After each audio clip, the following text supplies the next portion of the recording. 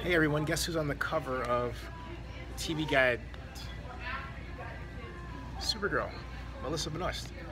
And this article that I'm reading by Damian Holbrook, who is at Comic Con in San Diego, as was I, this one, is about the length of the time that's allotted for he and others to ask questions while they are given access by the PR people.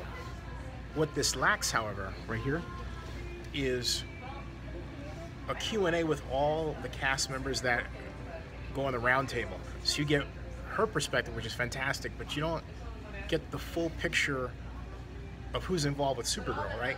And so people, you know, the way the PR people do these things is such that shows like Supergirl, Supergirl don't get the biggest bang for their buck right, from the PR people. And it's unfortunate.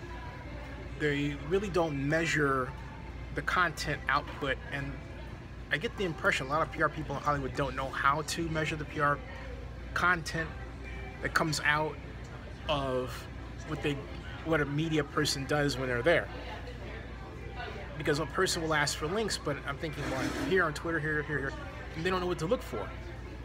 Once in a while, I'll get a PR person that understands how to use Google News or they how to use, understand how to use uh, an alert system or something like that, or like a Twitter alert app or uh, basically keyword alert apps. But the vast majority don't. It's really sad. So the end, the end of what happens at the end is you get a few content here and there, and what you get is not as satisfying as you'd like.